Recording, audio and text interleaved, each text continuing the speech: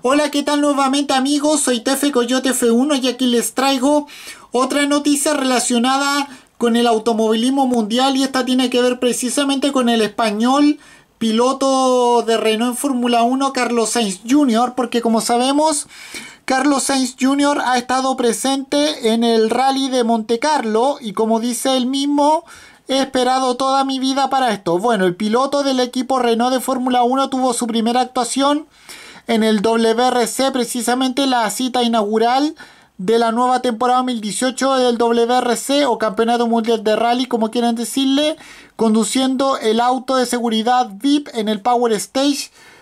De la cita que acabo de mencionar, eh, la fecha inaugural del Rally Monte Carlo de la temporada 2018 del Campeonato Mundial de Rally y bueno, eh, como sabemos, el piloto de 23 años se ha, puesto al volante del auto VIP de seguridad que, fue precisamente un Renault Megane RS y, ha exprimido eh, la vertiginosa curva del Power Stage que ponía fin a la primera cita del calendario mundial de,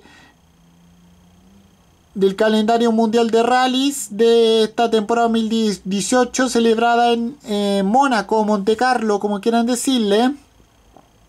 Y es la pasión precisamente de la familia Sainz por los rallies que es incuestionable.